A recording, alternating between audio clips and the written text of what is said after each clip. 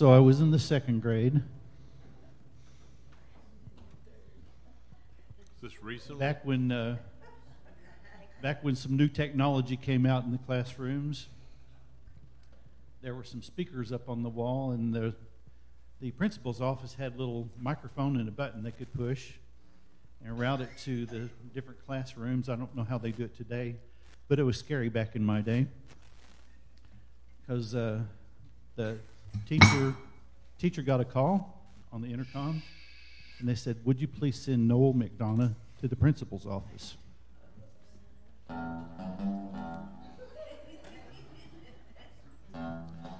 Second grader, I knew everything.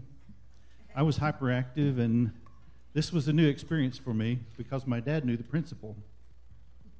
So um, I went down to the principal's office, and it wasn't like I was ushered right in. It's like, Noel, would you sit down over there? So I sat there fidgeting and squirming, and I waited, and I waited, and waited.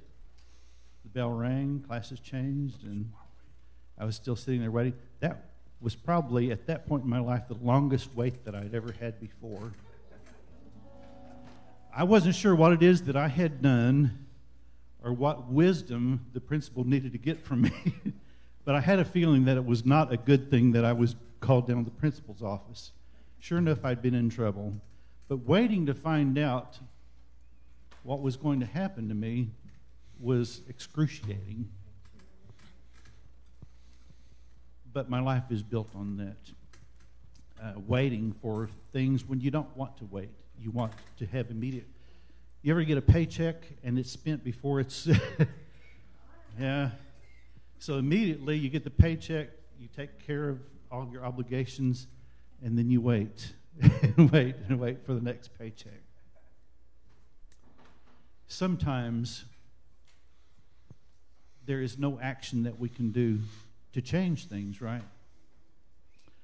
As Christians, we need to look beyond ourselves. We need to look beyond time and realize that things are in God's hands.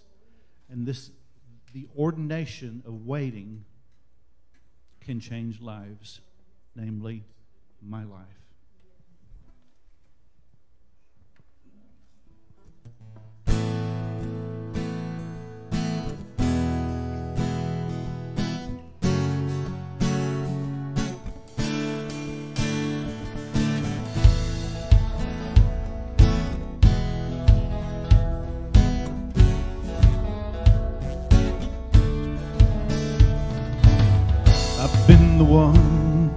Shake with fear and wonder if you're even here. I've been the one to doubt your love. I've told myself you're not enough. Oh, oh, oh, oh, oh, oh, oh, oh, oh, oh, oh, oh. I've been the one to try and say I'll overcome by my own strength. I've been the one to fall apart and start to question who you are. You're the one who conquers giants. You're the one who calls out kings. You shut the mouths of lions. You tell the dead to breathe. The one who walks through fire. You take the orphan's hand. You are the one Messiah. You are I am. You are I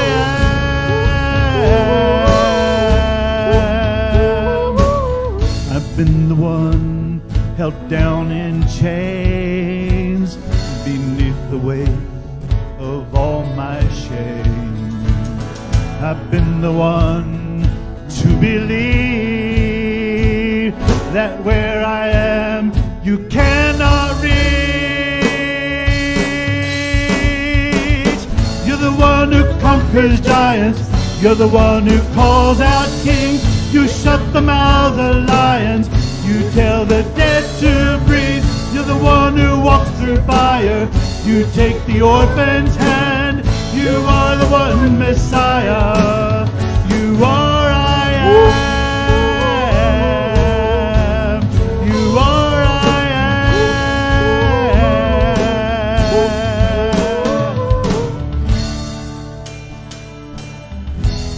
The veil is torn.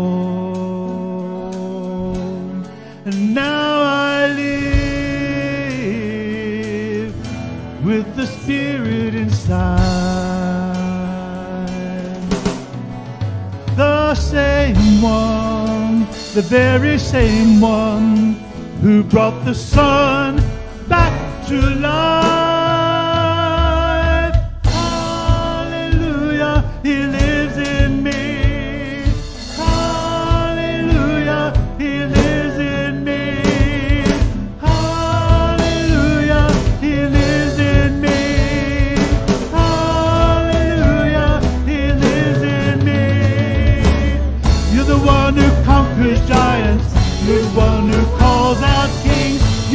the mouths of lions. You tell the dead to breathe. You're the one who walks through fire. You take the orphan's hand.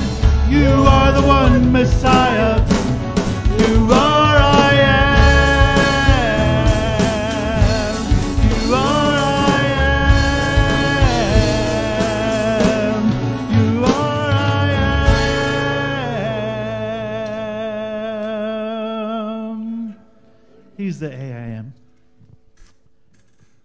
This young lady right here wrote a song at a time when she was waiting upon the Lord to hear the outcome of her husband or the passing of her husband.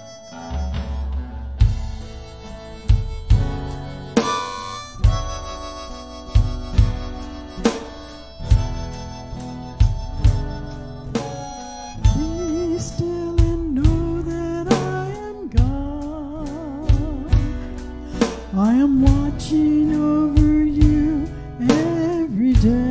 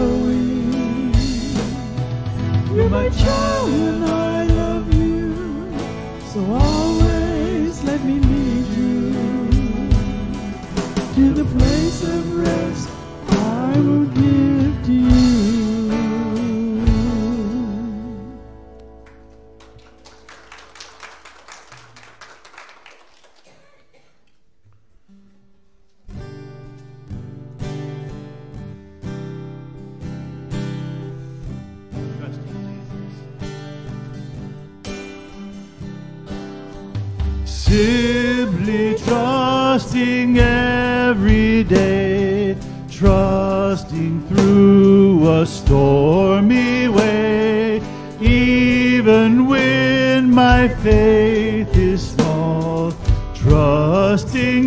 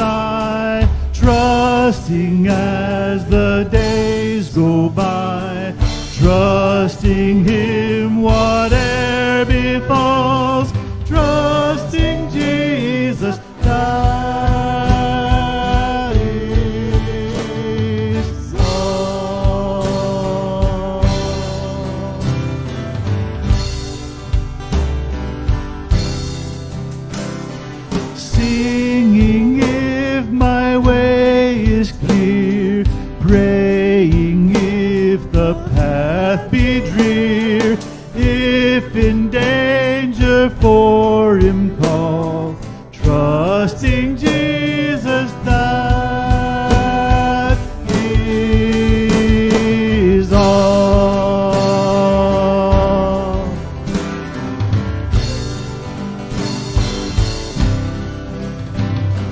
Trusting him while life shall last, trusting him till the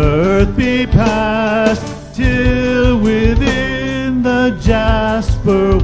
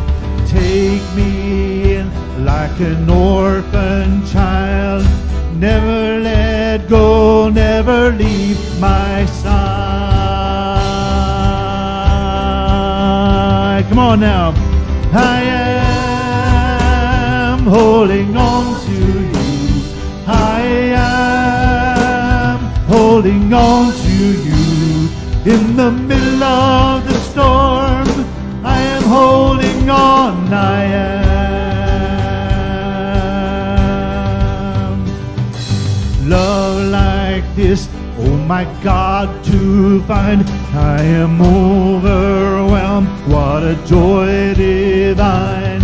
Love like this sets our hearts on fire.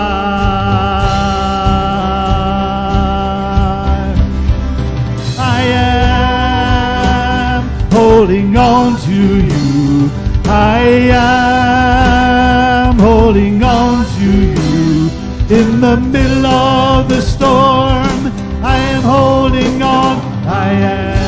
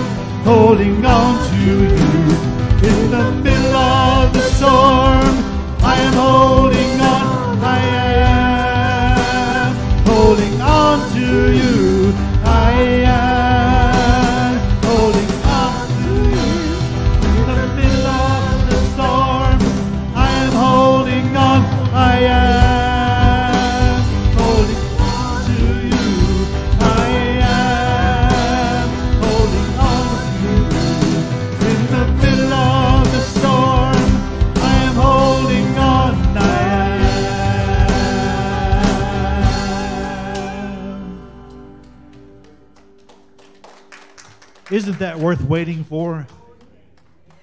It gets even better.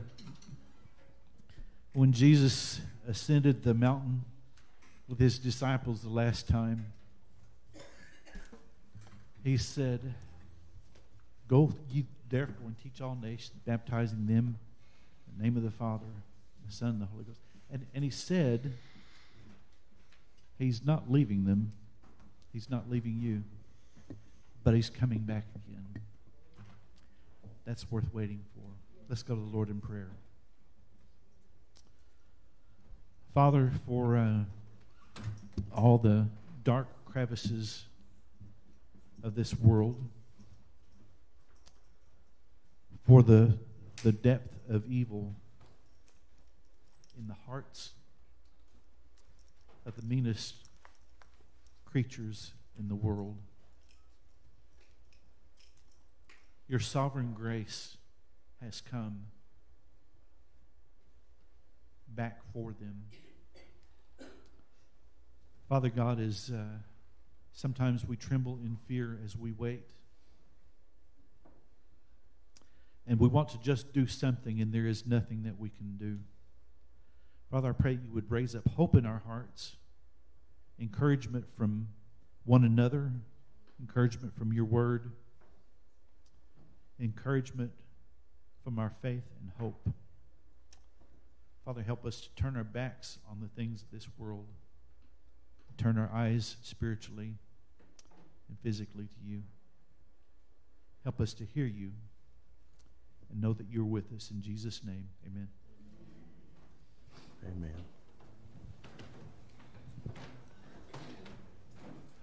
Amen. Thank you, Noel. Thank you, Second Chance Band. That was great. Boy, these are the days we need to realize our I am and realize He is holding on to us. I, uh, I'm, I'm overwhelmed with uh, finding this place in, in Scripture where we can spend uh, these COVID days with a word that has almost weekly matched up to our need. And this is why the Word of God is so efficient in its ministry to our souls. God knew what He was doing when He gave us His Word, gave us this truth, gave us His Bible. And I hope that you have picked up on some of that in these last, I think this is the 14th message in the book of James relating to, to the crisis that we're in, trying to uh, share with you, as James does, this message of bringing uh, stability essentials into our lives as we live and as we breathe. And we are still breathing and we're still living. And I pray that, that as we move through these days where everything around us on the exterior seems to have a different tone, it changes, it, it blinks once in a while, redirects itself, God's still moving forward. And that's where we'll find ourselves today. If you'll take your Bibles, those of you watching by Facebook, maybe a notepad as well, uh, you have a handout here this morning.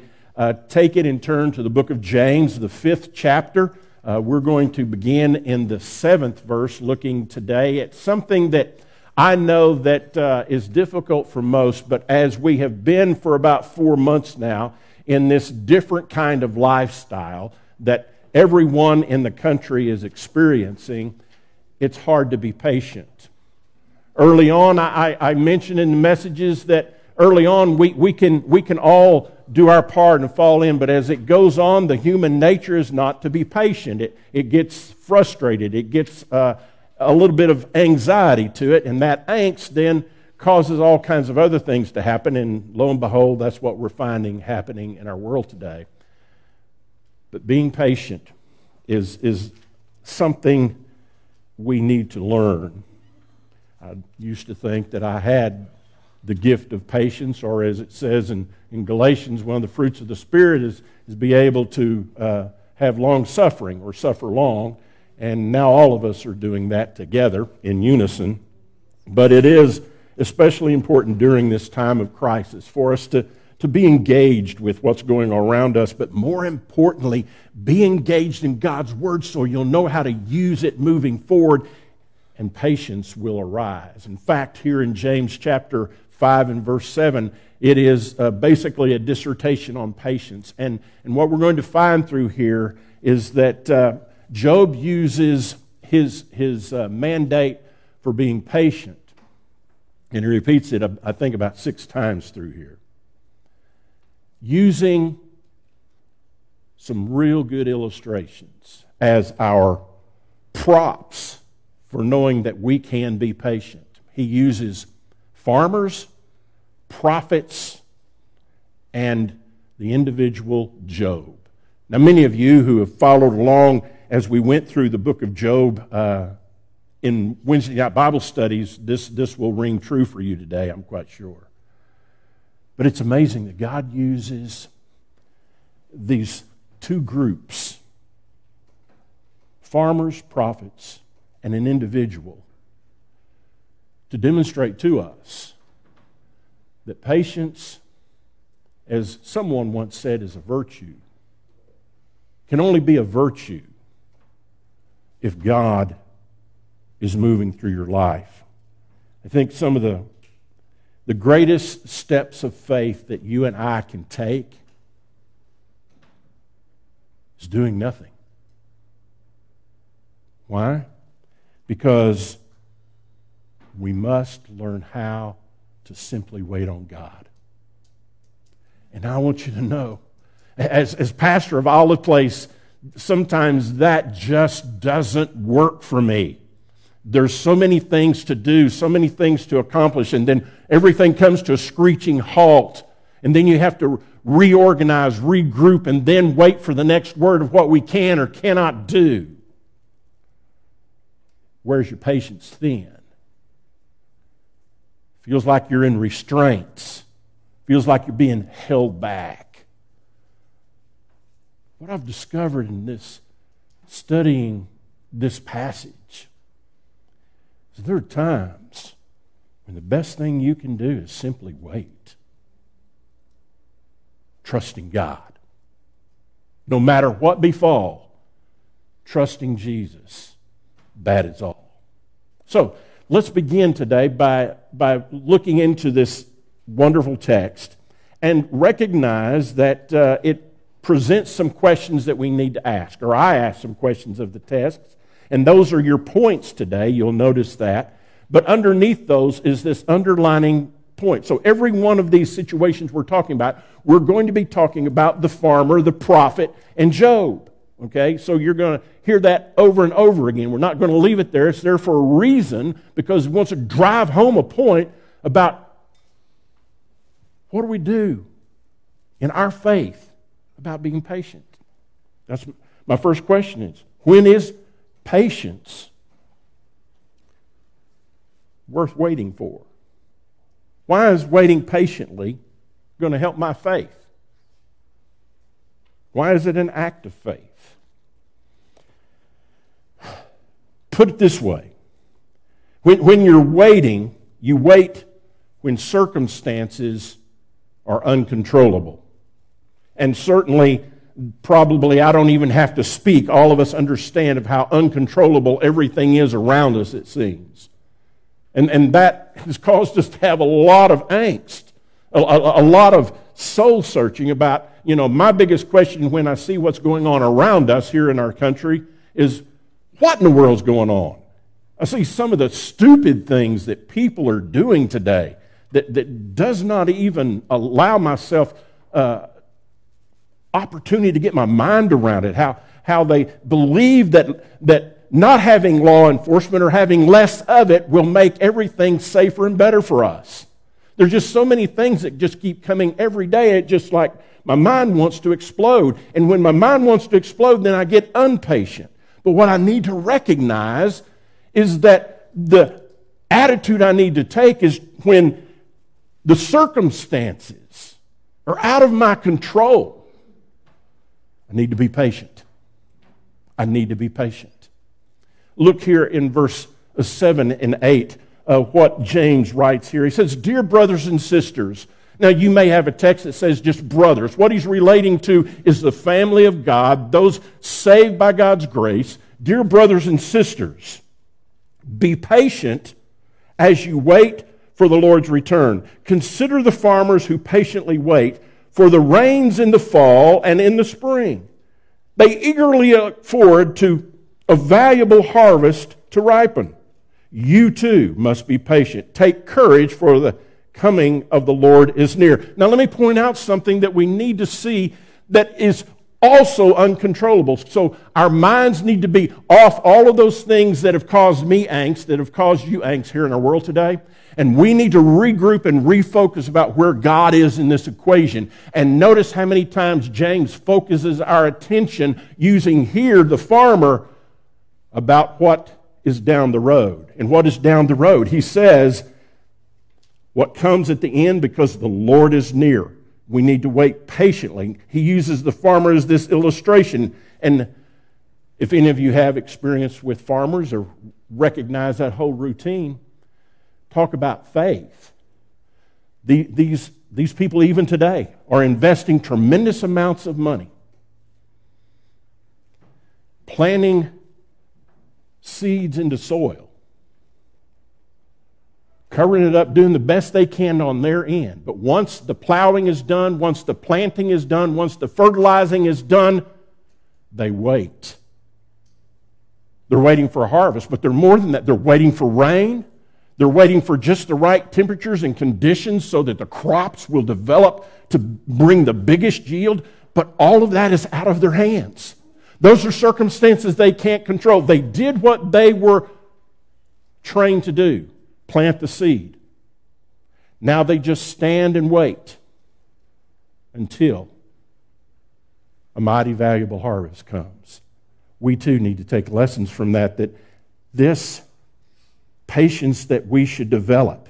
Notice he says here, be patient and wait. Patiently wait. Be patient. Over and over again. And take courage, for the coming of the Lord is near. See, God has planted a seed of hope in us. And it's to cultivate and take bloom, and we're to share the gospel until Jesus reaps the harvest and calls us home. In that process, we, we do wait, but it doesn't mean to be in neutral. Your mind in neutral, no. Your, your life in neutral, no. But don't get ahead of God. Wait patiently also related to this question when, when is waiting patiently an act of faith? Not just when things are uncontrollable, but when the truth is unpopular. Today, we're living that. We're seeing that. And if you have any biblical knowledge at all, there should be times when God's truth that's been planted in your heart and soul, you're saying, that's not right. That's not right. Why? It's not based on the Constitution. It's not based on laws that are propagated in states, local municipalities, or even in our federal government. It is based on what God has placed in our heart about what's right, about what's wrong. So, what do you do when truth is unpopular? Well, verse 9 don't grumble. I got convicted this week because I've been grumbling a lot, mostly to my wife, and she's about fed up with it. Grumble, grumble, grumble. I need to stop. Don't grumble, he says. Back and forth to each other. Brothers and sisters, you're going to be judged, he says. For look, the judge is standing at the door. God's going to take care of all of this. And this is something that we're, I think, I'm, I'm speaking myself sometimes. God, show up right now and take care of that. Show them who's boss. I've had that run through my mind many times. God, that would just be a great moment right now for you to show up and you smite all these Philistines, and man, we will give you praise and glory for it. But just let it see it on the nightly news. Well, I realize that's not going to happen. I mean, it can happen, but it's not going to happen because I tell God it, He needs to do that. But I need to be patient and recognize when things are unpopular, it doesn't exempt me from standing for the truth. Notice what he goes on to say here in verse 10. For examples of patience in suffering, that's when the truth is being vanquished, when it's being redefined. Look at the prophets who spoke the name of the Lord we give great honor to those who endure under suffering. The prophets. Think about it. Uh, most all of the prophets in the Old Testament that we read about had a difficult time telling the children of Israel what God was saying. I don't mean they had a problem stepping up to the plate and pronouncing it. They had a difficult time because there was always pushback. There was always something pushing back. The children of Israel pushing back. They keep chasing other idols and following in other uh, cultures. Even while the prophets, though, were there to continue to speak forth God's truth. Jeremiah. Jeremiah was known as the weeping prophet. He spent his entire ministry never seeing fruit, never seeing the children of Israel turning away from their sin and turning to the truth. When the truth is assaulted, it's tough. But we can learn from the prophets because they, they, they hung in there. They, they stood their ground. They spoke the name of the Lord, it says. And the outcome was honor was given to them. Why? Because of what they had to go through, what they had to endure. Take that to yourself. You know, when, when the truth is unpopular, still speak truth. You're going to get pushback. But listen, they're not pushing back on you, they're pushing back on the Word of God that has been molded and shaped into your heart, into your life. Also, when is waiting patiently an act of faith? When things are uncontrollable, when the truth is not popular, but when pain is unbearable and unexplainable. This is where Job comes in. This is where it gets personal. The rest of it was re- relative to the culture, to, to the community, to the congregation. Remember the farmers, big people group there. Remember prophets, another group there. But boy, what happens when it comes home? What happens when it's inside your house? What happens when it's you? When there's pain, and when it's so unbearable and you can't even explain it. Let's listen to the Word of God, what James has to say here in verse 11. We give this great honor to those who endure under suffering. For instance, you know about Job. I hope you know about Job. I don't have time here to tell you all there is to know about Job, but I want you to know that's a good read for a day in which we're living today. A man, look at this, a man of great endurance, a man of great patience. I think uh, many people have used this cliche through the years. As we studied him in Wednesday night Bible study, we found out that probably wasn't an exact replica of what he was doing when we say, you know, I wished I had the patience of Job. You don't want to wish that on anybody. You truly don't. He never wished that on himself. It came to him. But he endured through it. And that's what we need to do. We need to patiently endure and let Job be our example. Okay? Uh, Job is no more special than any other of, of us when we know where our faith is planted, where it comes from. There in that root of our lives makes all the difference. This made all the difference for Job. I hope you're listening to me really carefully.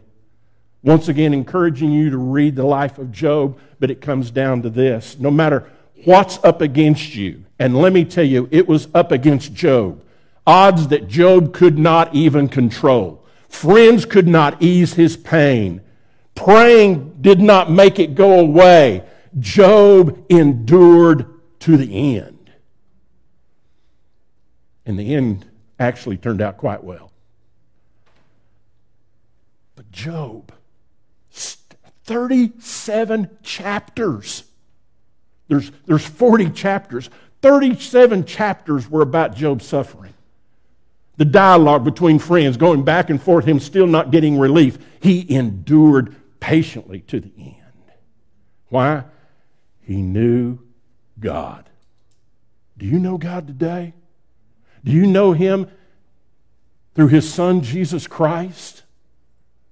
Because it, it, it's apparent to me that true enduring of what is truly catastrophic in our life is sin.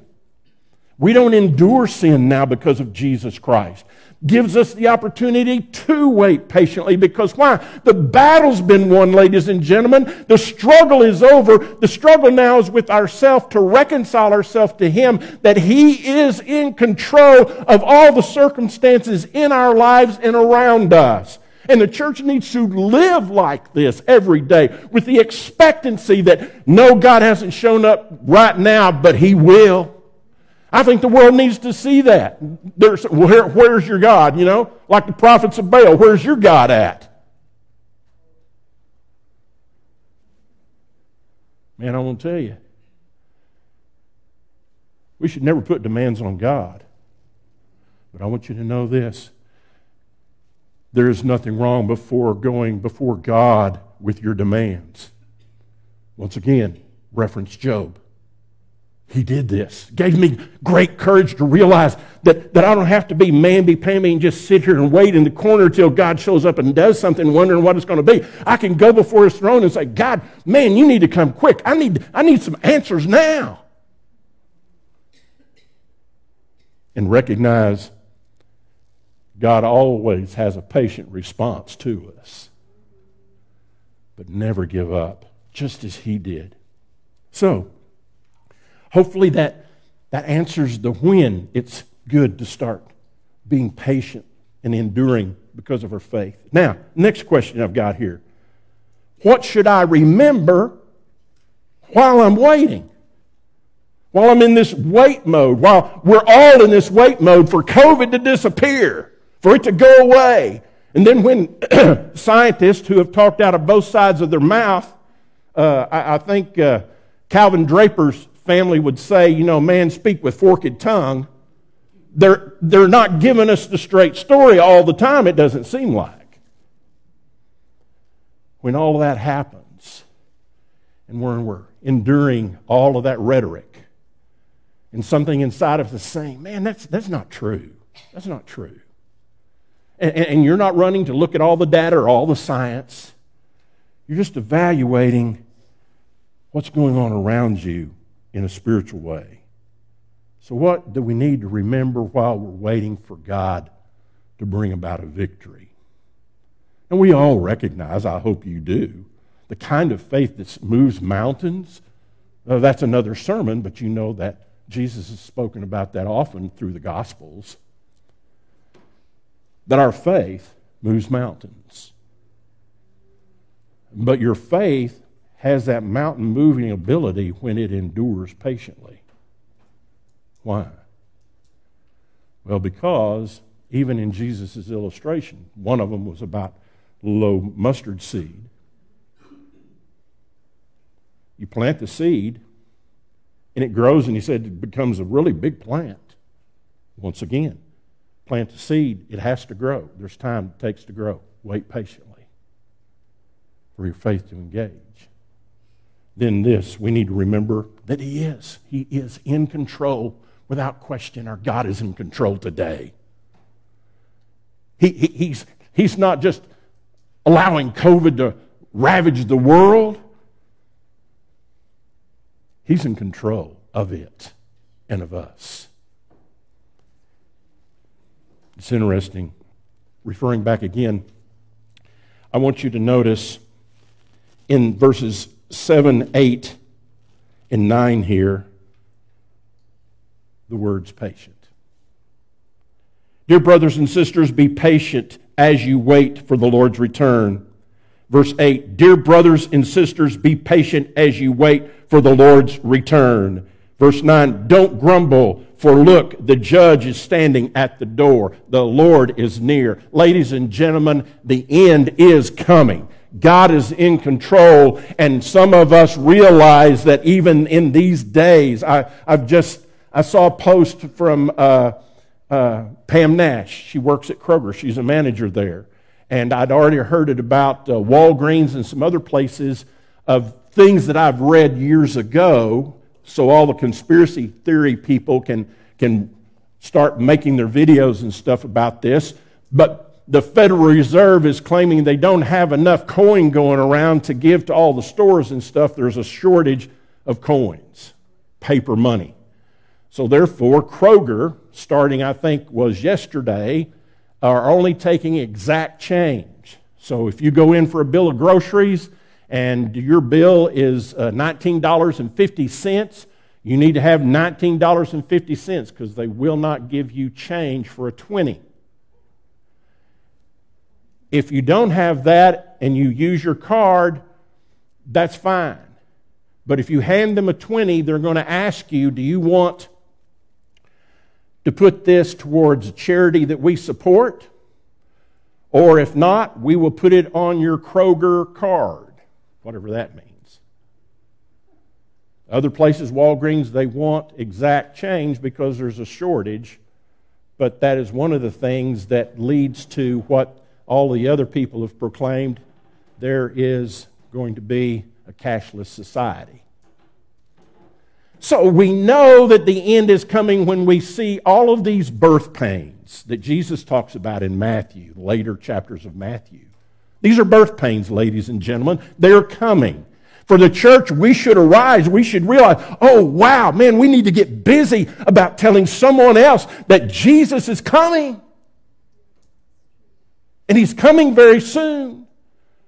And three times, chapter, verse 7, verse 8, verse 9, James says he's the end is near. The end is near. The end is near. This isn't chicken little. The sky's falling stuff. This is we need to continue to hold on. It looks like things are unraveling. My word, people without jobs, uh, people have lost loved ones, uh, people have endured just being sequestered and tying, you know, in their homes and things like that. The pressure is insurmountable in many places. I mean, we're seeing it before our eyes. But hold on. God's in control. We need to also remember God rewards patience. It's what he does. It's what he was referring to when he was talking about Job.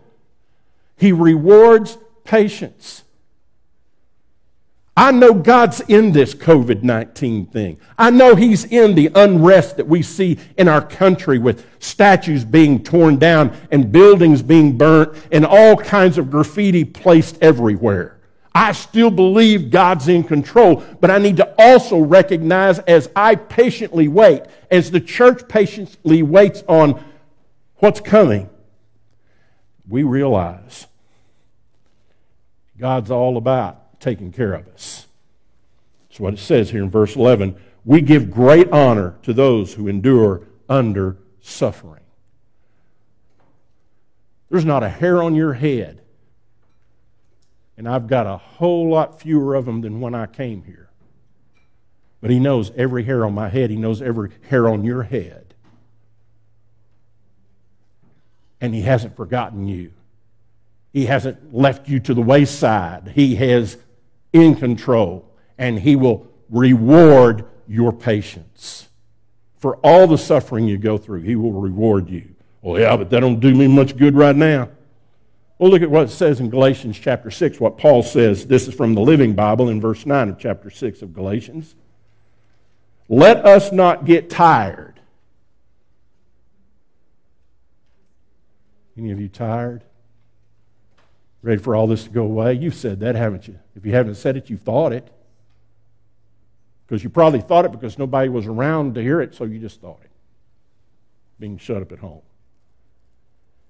Don't get tired of doing what is right, for after a while, any of you ever said that? It's kind of a great Texas phrase. In a little while, after a while. You ever said that? You're not meaning in a couple of seconds. Might be a day or two, could be a year. After a while, we understand that. God, in His big scheme, that's even, even in a greater level.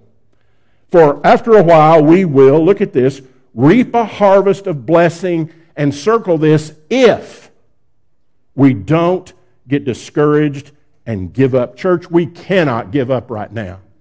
We must hold firm, stand firm on our convictions, live in the truth, and proclaim that truth regardless of the pushback. If you don't get discouraged, if you don't give up. See? That's all you got to do. Just hang in there by your chinny chin chin. That's what Job did. Literally. His body was just tore up. He lost everything family, farm, finances, friends. Was all gone in one day. Not over time, one day. But one day he's coming, and that will be a glorious day. Endure. Don't get discouraged. Don't give up. Also, remember this isn't the end of the story. This isn't the end of us. The story continues. He goes on in, in verse 11, the, the latter part of verse 11.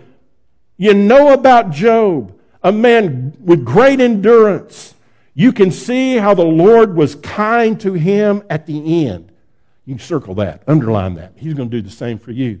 As you don't get discouraged, as you don't give up, as you wait patiently, the Word of God is telling us. James is pointing it to us. Remember, James was guiding his people during a time where they were really being ripped by the Romans, being persecuted, having trouble.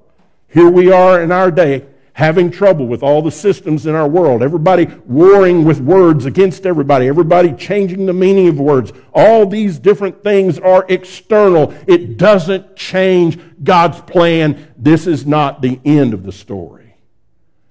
He takes care of you. The Lord was kind to him at the end. Okay? What does that mean? Well, the end comes to all of us. Sometimes it happens and it's planned, you can see it coming. Other times, it's like that give you two examples. A friend of mine that I met at Westside Cafe, she used to, her name is Carolyn Harris, and she used to check everybody out. And Basically, that was her office. And I watched her over the years. She's, she was there long. This business has been around for, for uh, about 20, uh, for 23 years. She was there before the business was bought. She came with the old business and was there. She was the first employee, basically. But she cashed everybody out, and from the edge of that counter over, That was her territory. I've seen her chase waitresses and attendants and everybody else out of there because they didn't have any reason being back there. One of the reasons was is that the money's there. But she took ownership of it because she was an animal lover. She had a picture of her bull. She's got two pictures. They're still up there today. I was there yesterday. Bubba, her bull. Now, she didn't really do anything with the bull, it was just her Bubba. She loved that animal. Any of you love animals? Yeah. Man, they, she loved that animal enough to take picture of it, you know. You know, unless you got, and it wasn't registered. Most people will take pictures of the registered animals so that they can, you know, when they go to sell or, or, or deal with uh, breeding or whatever, that's, that's something you want to see what the animal looks like. No, she took a picture because she loved this thing. And if you wanted to ask her about Bubba, she would tell you.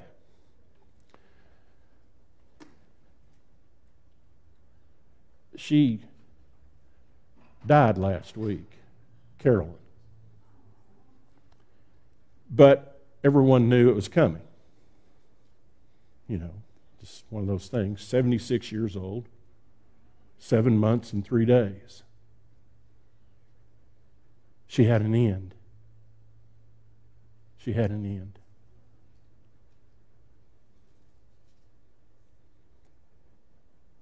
But my heart's broken because that's the end for her.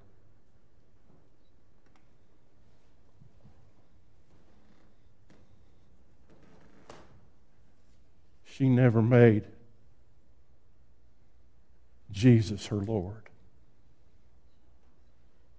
People loved her. I loved her. And that was the hardest thing I did yesterday for someone I cared greatly about. And when there was opportunity, when I found out, because a waitress from Seymour, who was a friend of hers, called me and said, Eddie, you need to get in there and you need to tell her I've tried and tried and tried and she never accepted Christ. You need to go tell her. They wouldn't let me in there. They wouldn't let me in there.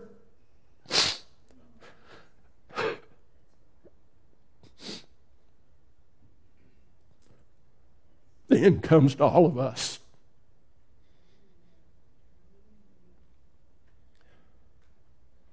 On top of that,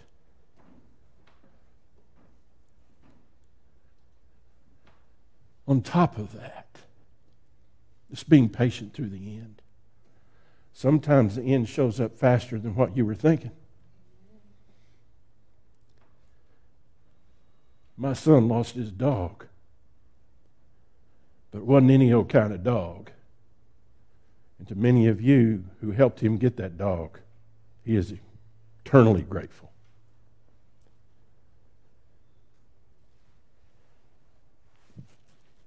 Dawn and I took Brian and Tara to the airport, pick him up when the handler brought him. See, my son's type 1 diabetic. He has a pancreas that shriveled up and died.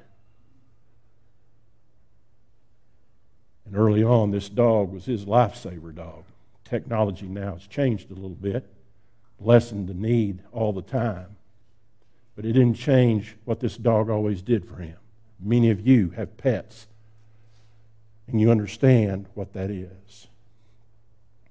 The dog just got to feeling a little bad, so he took him to the doctor and they did some tests and stuff, found out he had cancer. So then he's sitting there having to make this decision about spending $10,000 to open him up, remove his spleen, check to see how bad it all is. Some life gripping decisions for an animal who has saved your life.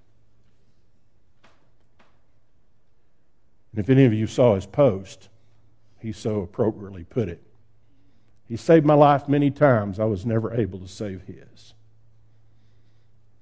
Puts a big hole in your heart.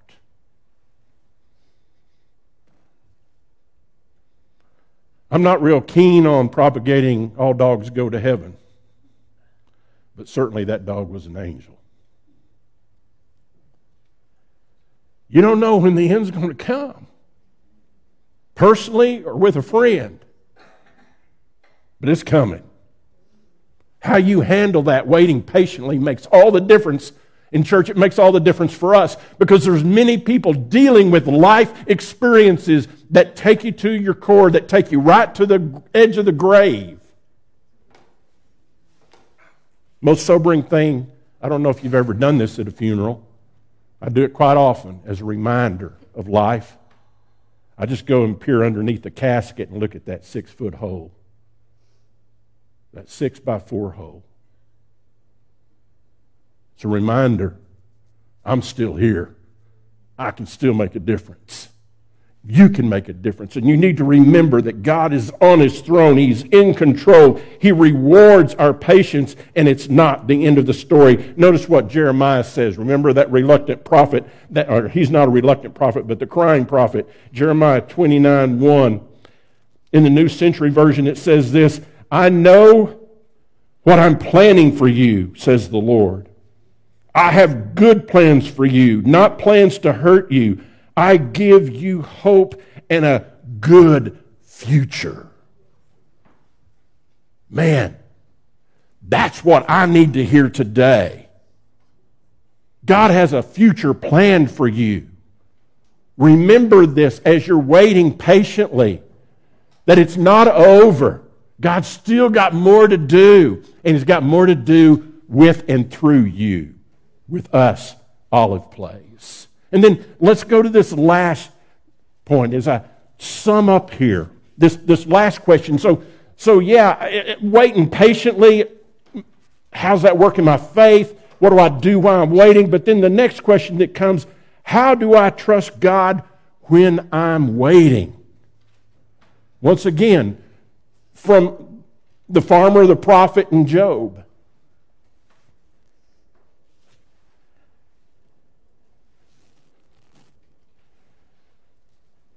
The most difficult room to wait is God's waiting room.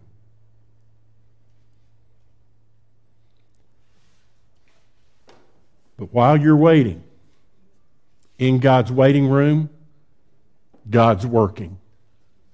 God is working like the farmers. I need to wait expectantly. Have some expectation. Don't get down. Don't get gloomy. Remember, don't get discouraged. Don't give up. I need to wait expectantly. So I'm not idling. I'm not like, okay, okay, come on, God. No. Wait expectantly. Soon and very soon, soon and very soon to meet the Lord. Come on, people. We need to give this to other folks. Psalm 130. Look at it here in the Living Bible. I wait expectantly, trusting God to help me. He is the one who has given me the promise. He has promised it. He has promised it. What did he promise? Look at it. As help. Remember Psalm 12:1? I've been propagating for the last four weeks? Help, O Lord. What has He promised? Help. Don't get discouraged. Don't give up. Help's on the way. Wait expectantly for that. In Isaiah 49 23, in today's English version, it says, No one who waits for my help will be disappointed. His help, not the government's help, not the policeman's help, not socialist help, not democratic help, not Republican help, but God's help has been promised to those that He loves and calls His own. Don't forget this. Don't forget this. Because the farmers, they know how to wait expectantly. Boy, we had two inches of rain last week. Man, we know what's fixing to happen. Man, those crops are going to shoot up. Man, let's make sure that we keep the weeds down. This is going to be a good year. Wait expectantly. God's coming to help. We also, like the prophets, we, we need to wait without complaining. Remember what James said don't grumble. In Lamentations chapter 3, verse 26, it says this it is good to wait quietly, no grumbling, for the salvation of the Lord. Wait quietly. Just hold on. Hold on a little bit longer. He's coming. And then, like Job, like Job, along with the prophets and the farmers, we need to wait confidently. Job had confidence in who God was in his life, and it's, it's proclaimed here in Job 14 14 in today's English version. It says, If a man dies, can he come back to life? I will wait for better times. I will wait till this time of trouble is ended. Notice what he asks. He asks a question and then he makes a statement.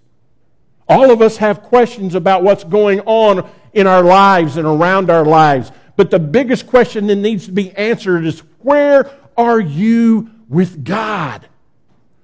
I don't know how people can have confidence in the future without God. And what that is, is hope. Do you know what hope means? Here's what it means to me holding on, praying expectantly. Holding on, praying expectantly. That builds confidence in your soul. It enriches your life and it will enrich others' lives as well because these are the days where you and I show up and show the world God's in control. He's on the throne. He's coming back. That builds confidence. 2 Peter chapter 3 verse 9. The Lord isn't being slow some of you need to look at that. The Lord isn't being slow in keeping his promise to return, keeping his promise to help. He's waiting on you, being patient with you, because he doesn't want anyone to be lost or perish. Instead, he is giving you time to change your heart and turn to him. There's still time.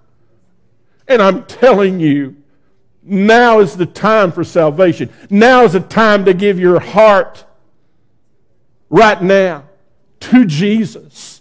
Simply tell Jesus, Lord, I'm a sinner. I can never measure up to anything you have ever put in print or said with your mouth. I can't do it. But Jesus, did it. I give you my life, Lord, through the blood of Jesus Christ. Save me, God. You can't save yourself. Only the Spirit who convicts you. You, you can feel sorry for your sin. That's not conviction. But when you recognize what sin did to God through His Son, it will crush your spirit and it will bring you at a crossroads of whether you want to continue being your own God or whether you want God to be your God. Through the blood, through the shed blood, through the resurrection, through his death and resurrection, you can have eternal life. It's promised. And my friend, as we've read here today, that is the promise, that is the help that God has said he will deliver. And the waiting patiently, listen, the waiting patiently isn't about COVID. It's not about World War III. It's not about anything. God is waiting patiently for those who don't know Him to come to Him. And this is why you and I must be telling people, come to Jesus. Live your life righteously so people will wonder what's wrong with you in a time of turmoil and so much turbulence. I get so tired of, of seeing the stuff on television. I'm turning it off and spending a lot more time away from it because every time it seems like all those people that have gained power that people are bowing the knee to, they can only say two words, and one of them is the F word. Mm, this, mm, mm. I want somebody like that leading my world. In my world, He said, Take my yoke upon you, for it's easy. I'll lighten your load. and I'll give you a hope and a promise and a life. Come to Jesus. Give your life to Jesus. Right now, today. Those of you watching me by Facebook, listen. Just because we're separated through all of these wires and internet and wireless and all of that kind of thing, you've heard my voice, you've heard this message today. Do not continue to linger in forfeiting a decision for Jesus Christ. It is paramount that you truly consider where you stand with Him today. And those of you who are believers, who are here, who are watching me, don't, don't let this pass over. I'm already saved. No. Listen, we all need to up our game. We all need to learn how to wait patiently because this is probably the most important stability essential in the days in which we live so that the church will be triumphant. Not me, not you, but the church of Jesus Christ will stand as he said in Matthew chapter 5. It is on a hill. It can't be hidden. It gives off light. We got to get up a whole lot higher. We got to quit looking at ground level. We got to recognize God is on the throne. He is in control. And He says, just hang on a little bit longer. I'm going to be there. Let's pray for that. Let's look for that. And if you haven't been, man, get on your knees and pray, Lord, forgive me. Let me gain that attitude that you want me to have while I wait patiently for you to respond. Probably need a lot more Jobs in this world today. And remember, it turns out really sweet in the end. Really sweet. Let's bow our heads.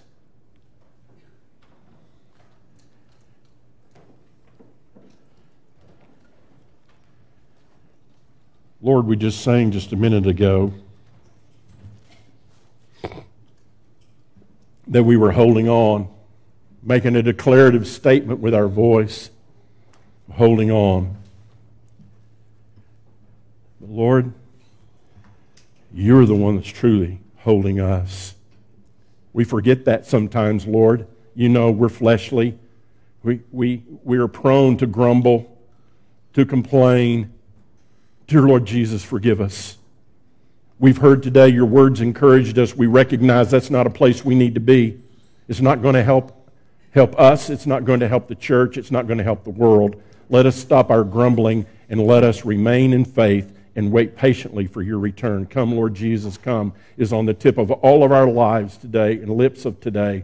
But Lord, we know that you're waiting for more to come to you. And we pray, God, you will bring in that harvest, that you will allow seeds that have been planted and words that have been spoken to start changing lives. That, that there's, there's going to be a day when there will be no more opportunity for anything. There will be no more hope for anything else. So, Father, while we're here, let's hold on and let's begin to pray expectantly. Please receive our prayers, Lord, because we need your help. In Jesus' name, amen.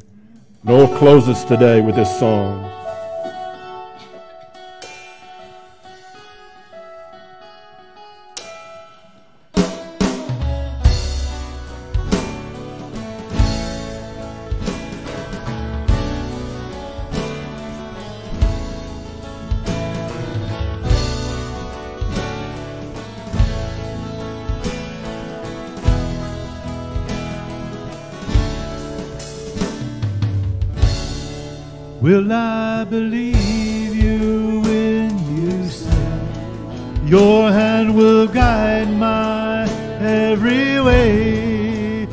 Will I receive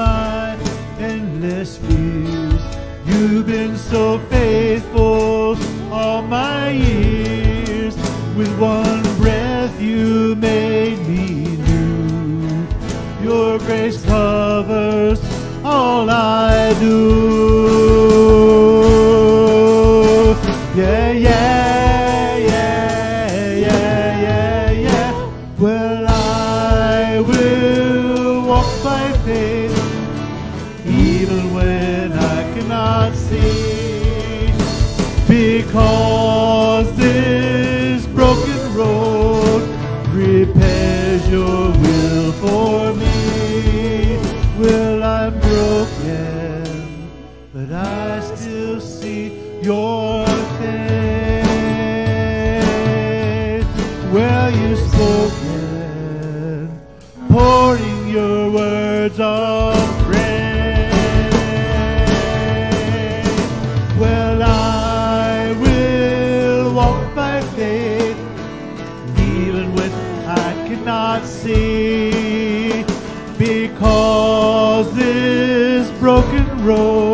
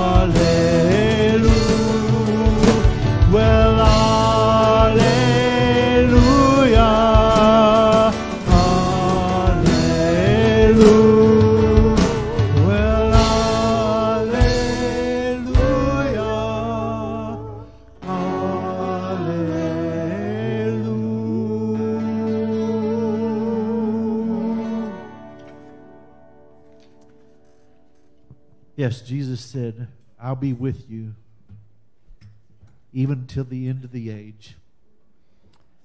Go and take that word to your friends, people that you work with.